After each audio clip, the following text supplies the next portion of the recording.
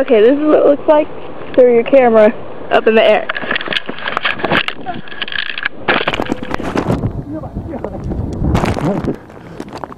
Oh,